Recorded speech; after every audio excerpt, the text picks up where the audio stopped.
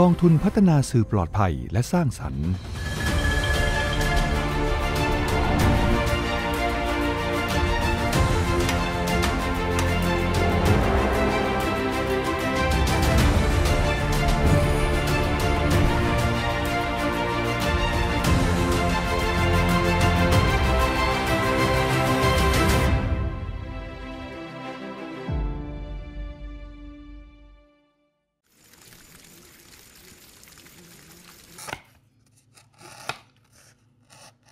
สำหรับผมมันก็คือความผูกพันลึกๆของคนอำอำเภอด่านซ้าย พรุ่งนี้อาจจะเหลือผมคนเดียว หรือว่าอาจจะไม่เหลือผมเลย แต่สิ่งนี้มันก็ยังอยู่ในใจลึกๆมันก็เศร้าว่าสิ่งดีๆ คนทำไมไม่รักษาไว้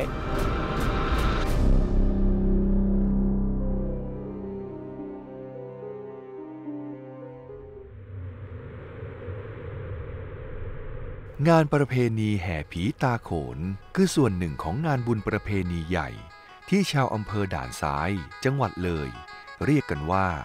งานบุญหลวง ซึ่งนอกจากจะเป็นประเพณีที่เกี่ยวเนื่องกับพิธีกรรมทางศาสนา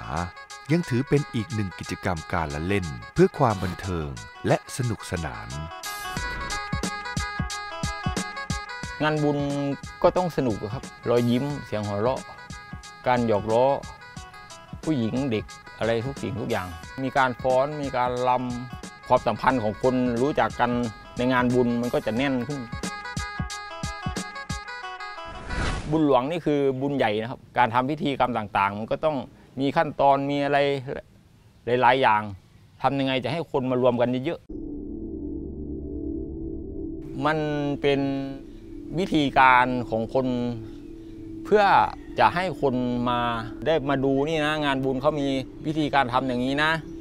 มีขั้นตอนแบบนี้นะ แต่พอมาดูจริง ๆ คือผีก็มีเห็น แต่ทีนี้มันจะมีอะไรแตกแยกออกไปกว่าจะมาเป็นอันนี้ครับคนมันก็ต้องอยากรู้ขึ้นไปเรื่อยๆ เอ้าผีไปงานบุญได้ไง เหมือนที่สงสัยครับปาดเปลืองเลยครับ คนโบราณการละเล่นผีตาโขน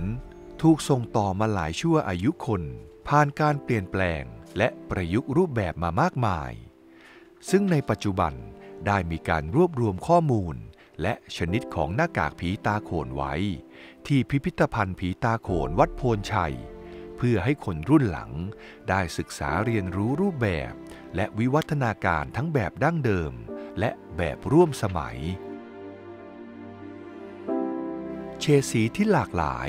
และลวดลายวิจิตรบรรจง รวมถึงชุดแต่งกายร่วมสมัย ช่วยเพิ่มสีสันให้ขบวนแห่ผีตาโขน ดูคลึกครื้น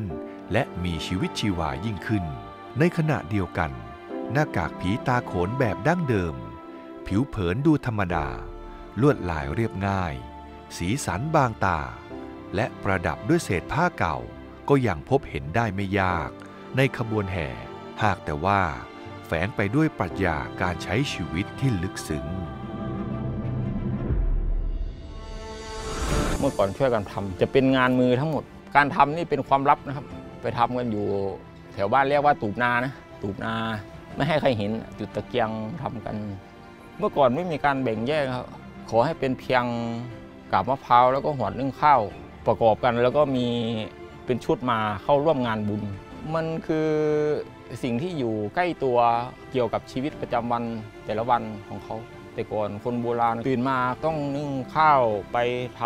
ำสวนทำนากลับมาต้องนึ่งข้าววันนึ่งสองครั้งวันนึ่งข้าวมีความสำคัญไหมครับทีนี้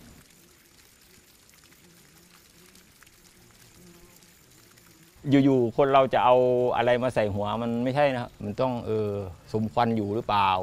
เป็นการบูชาลำลึกถึงบุญคุณของข้าว แต่ข้าวจะสุกได้ก็ต้องผ่านหัวนึ่งข้าวต้องผ่านการนึ่งมะพร้าวนี่ มันก็พึ่งพากัน ไม้มะพร้าวก็สร้างบ้านได้ ลูกมะพร้าวก็ทำขนมได้ เปลือกมะพร้าวก็เอามาทำเป็นเชื้อเพลิงได้แสดงว่ามะพร้าวนี่จะอยู่ใกล้ ๆตัวใช่ไหมครับเขาก็ใช้สิ่งใกล้ ๆตัวที่มีความหมาย มีความผูกพันเอามาประกอบกัน เมื่อก่อนผ้าก็ต้องทอมือใครจะเอาผ้าใหม่ๆมาติดครับ คือกว่าจะทอมาใส่ได้ก็แทบตายแล้ว ส่วนมากจะเป็นผ้าเหลืองแล้วก็ผ้าคลุมที่นอนครับเขาไม่ทิ้งนะครับเขาก็เอาไปใช้จนขาดอะไรหมดอะเขาก็ไปเอาไปคลุกกับไอ้บุยฝ้ายอะมันเหมือนเป็นขนนะทีนะพอใส่ออกมาเล่นแล้วคนก็ไม่อยากให้ป้ายอะไรมันติดเสื้อผ้าเขาพาวิ่งหนีกลัว ที่ผ่านมาหน้ากากผีตาโขนแบบดั้งเดิม แทบจะไม่ปรากฏในสื่อกระแสหลัก อาจเพราะรูปลักษณ์ที่แสนจะธรรมดา สีสันไม่สะดุดตา แต่สีที่นำมาทากลับสะท้อนถึงความเพียรพยายามในการคิดค้นและประดิษฐ์หน้ากากผีตาโขนของคนในอดีต น่าจะสามไม่เกินสีนะครับ ขาวดำแดงเหลือง สีขาวนี่ที่เขาพอกหน้าดินสอพอง สีดำก็เป็นถ่าน แล้วก็สีแดงก็มาจากสีของหินของปูน สีเหลืองก็น่าจะเป็นขมิ้นครับ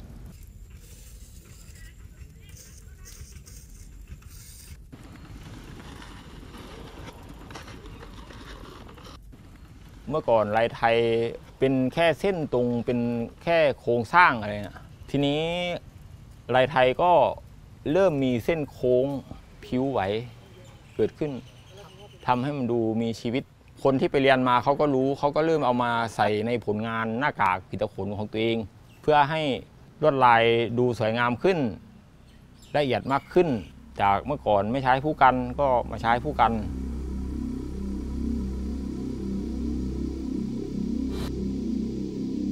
สำหรับผมนะยุคสมัยมันก็มีผลเหมือนกันครับ ผลที่เราจะสื่อถึงเขายังไง โดยผ่านกระบวนการทำลายเส้นสีอะไรอย่างเงี้ยคืออันดับแรกก็ต้องหากาบมะพร้าวให้ได้ก่อนนะครับ กาบมะพร้าวต้องเอามาแช่น้ำดัดให้ได้รูปทรงตามที่ตัวเองต้องการมากที่สุด และอีกอย่างหวดหวดผีตะโขนนี่เป็นหวด ที่จะใหญ่กว่าหวัดนึ่งข้าวปกติ เพราะว่าเวลาเอามาประกอบกันมันจะได้สมดุล แล้วก็สวมลงไปได้สบาย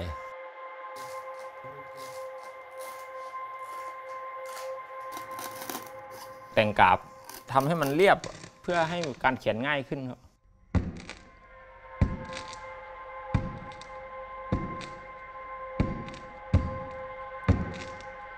จะมีเข็มกับได้ครับทีนี้ เอามาประกอบกันครับเย็บโดยการเย็บเย็บให้มันอยู่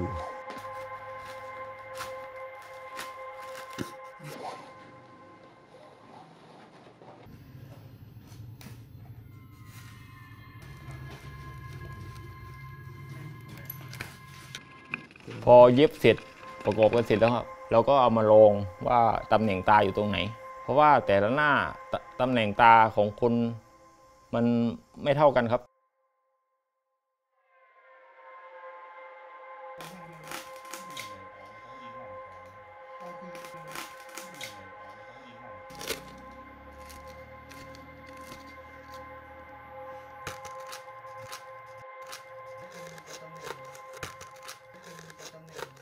แล้วจมูกก็ทีนี้ทำทำด้วยกันเลยครับ ไม้เนื้ออ่อนครับ ไม้เนื้ออ่อนเพื่อทำจมูก ต้องเป็นไม้แห้งนะครับ ทีนี้ตกแต่งให้เรียบร้อยก็มาใส่มาติดเลย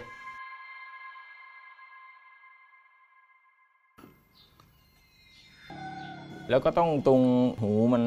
เพื่อให้มันดูดูไม่โล้นเกินไป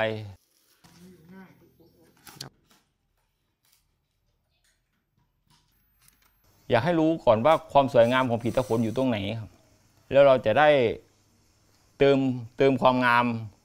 ให้มันถูกจุดนะครับ แล้วความงามมันก็ยังอยู่สำหรับผมมันก็คือความผูกพันลึกๆของคนอำเภอด่านซ้าย ผมกล้าพูดคำนี้เลย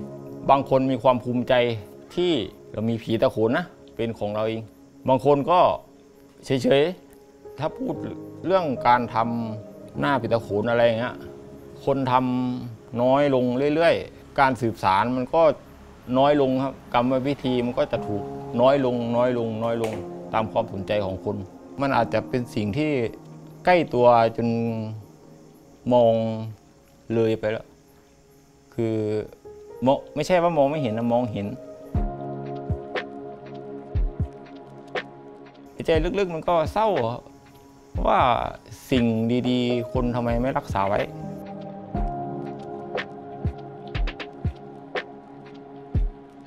เข้าใจคำว่าหน้าที่ไหมครับ หน้าที่ก็คือต้องรับผิดชอบถึงวินาทีสุดท้าย ก่อนที่คุณจะหมดหน้าที่ หมดหน้าที่ก็คือ ไม่สามารถทำต่อได้พรุ่งนี้อาจจะเหลือผมคนเดียว หรือว่าอาจจะไม่เหลือผมเลย แต่สิ่งนี้มันก็ยังอยู่ ปัจจุบัน สถานะของช่างทำหน้ากากผีตาโขน ก็อยู่ในสถานะเดียวกับช่างทำหัตถศิลป์พื้นบ้านอีกหลายแขนง ที่กำลังเข้าสู่กระบวนการอนุรักษ์ และสืบสารต่อยอดอนุรักษ์ก็คือทำให้มีโตอหรือว่าคงไว้ ถ้าสืบสารนี่คือสารต่อไปเรื่อยๆ ไม่รู้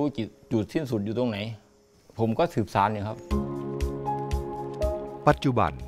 ประเพณีการละเล่นผีตาโขน ได้รับการขึ้นทะเบียนให้เป็นมรดกภูมิปัญญาทางวัฒนธรรม ประจำปีพุทธศักราช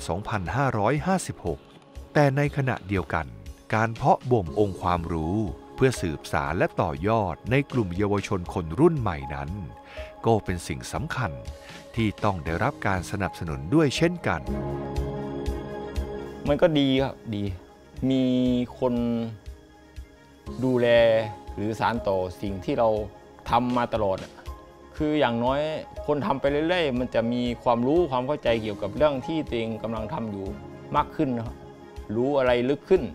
ถ้าทำด้วยความรักนะครับไม่ใช่แบบ ทำแบบอยากทำอะไรเงี้ยเขาจะค้นพบตัวเอง คือต่อไปเมื่อเขาค้นพบตัวเองเขาก็จะรู้ว่าเราทำเพื่ออะไร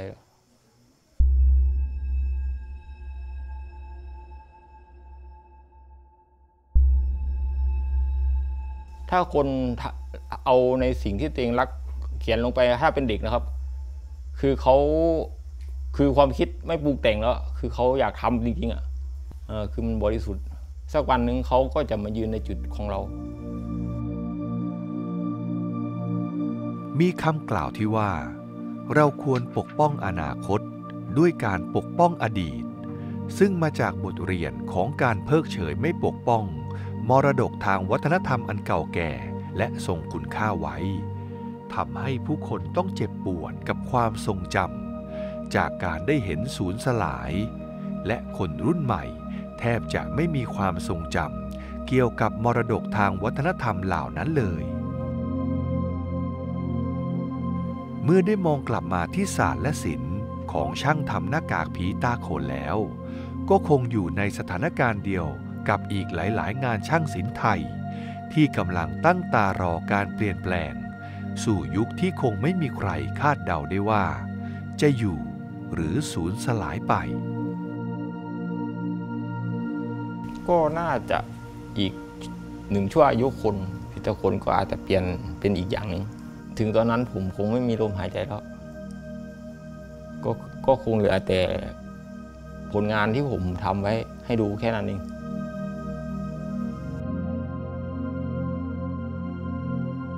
เราจะรู้สึกยังไงนี่มันมันก็พูดยากเหมือนกันครับ แต่ที่แน่ ๆ เราจะรอให้เราเสียใจกับสิ่งที่มันหายไปต่อหน้าต่อตาทั้งที่เรามีความสามารถที่จะรักษาไว้ได้หรือไม่ คือเราสามารถรักษาไว้ได้แต่เราไม่รักษา แต่พอสิ่งนั้นหายไป หรือว่าไปเป็นของคนอื่น เราจะรอถึงเวลานั้นเหรอ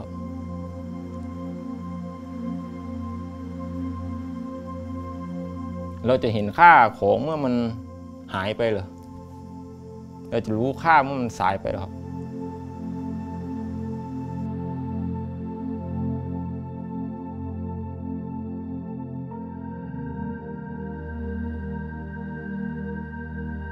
มันคงเป็นธรรมชาติครับ ทุกสิ่งทุกอย่างมันต้อง